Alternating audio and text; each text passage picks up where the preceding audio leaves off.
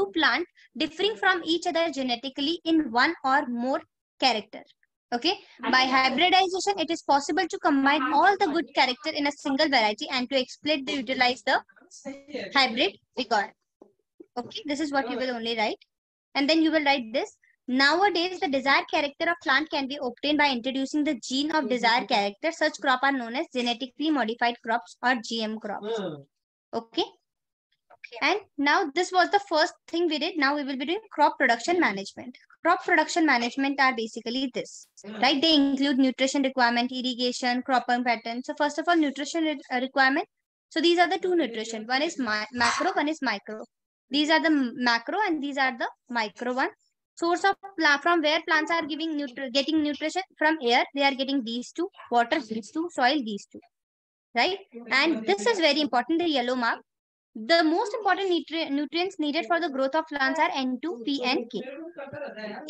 Now this one again becomes very important which is the difference between manure and fertilizer, right?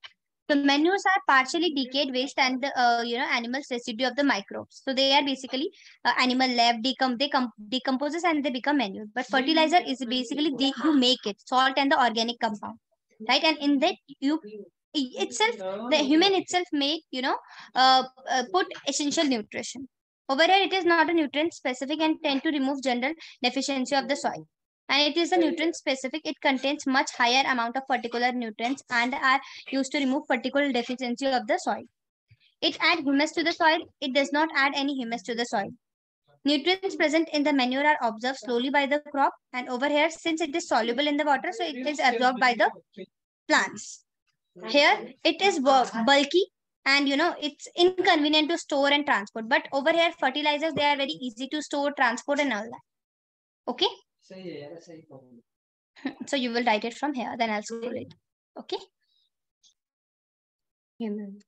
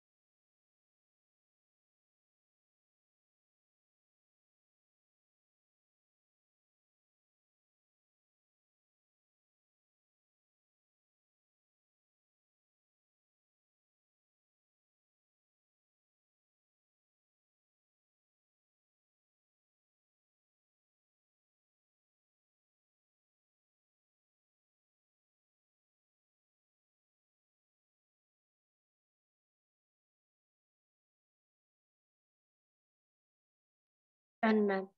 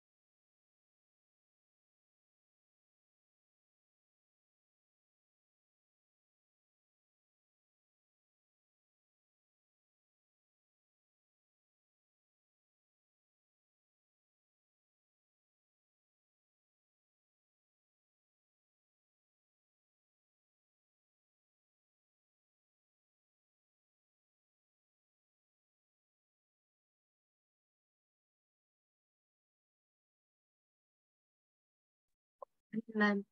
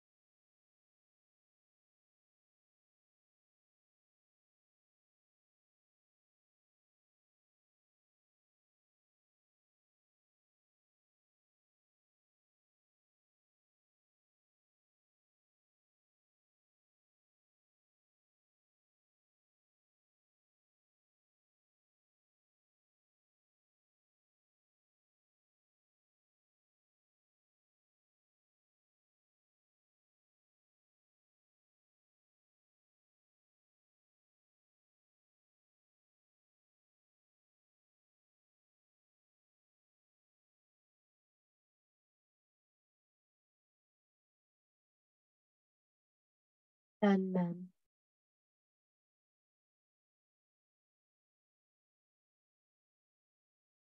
Okay. Now let's just do this then. Disadvantage of fertilizers. So they are expensive. It does not add any humus to the soil. It is in a long run, it destroys the soil.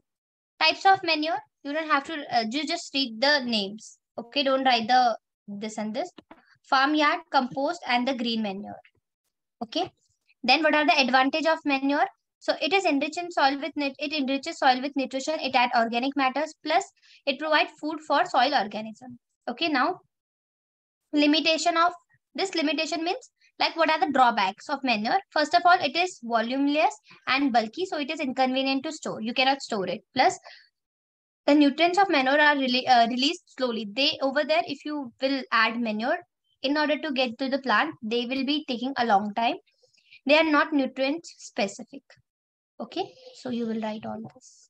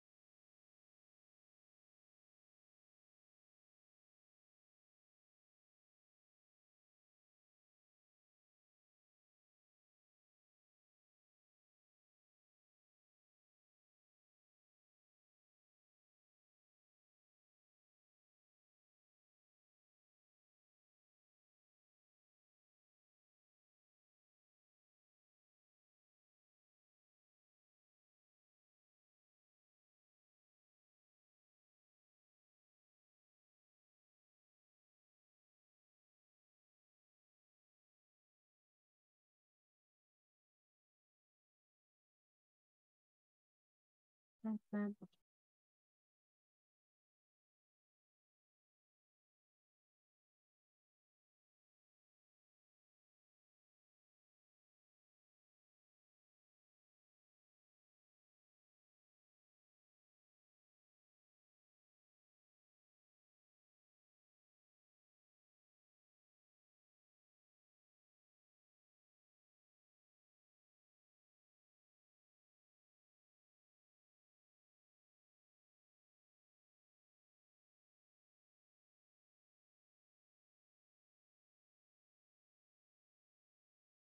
Ma'am. Okay, Jasmine. Now, what are biofertilizers? So, living beings used to increase the soil fertility are called biofertilizers, right? These are the some biofertilizers like ri- ribosome, blue-green algae, azolocate, etc. Right? Now, over here, the second is irrigation.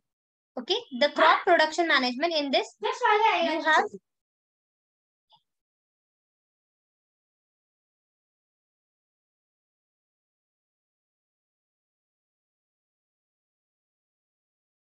Now, the second one is, the second part is irrigation. Okay, so with the help of irrigation also, you can improve the quality. So how you are going to use the technique of providing water to the crop in the field, names like you can use canals, you can use reservoir, wells, tube wells, etc. Next thing, sometimes they ask you what is irrigation, what are the important. First of all, with the help of irrigation, you get the important element in the crop right? Like the water supplies to the essential element to the crop like hydrogen and oxygen because water is made up of hydrogen and oxygen. Then moisture available in the soil leads to germination of seeds and water made available to the field by the process of irrigation helps in absorption by the nutrition of the plant, right? You don't need to do the irrigation system. Then mm-hmm. this one, what are the requirements? So there should be the minimum or no wastage of water and it should be inexpensive and economically justifiable. Okay. So you will quickly write it down. We have irrigation and biofertilizer.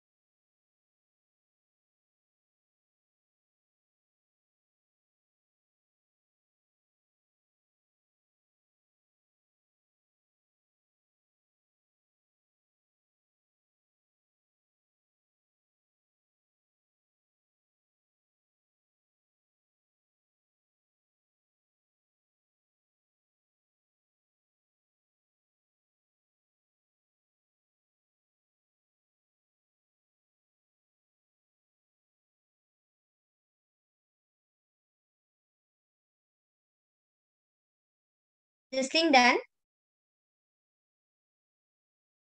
Yes, ma'am. Okay, quickly write down these two points, then I'll leave you.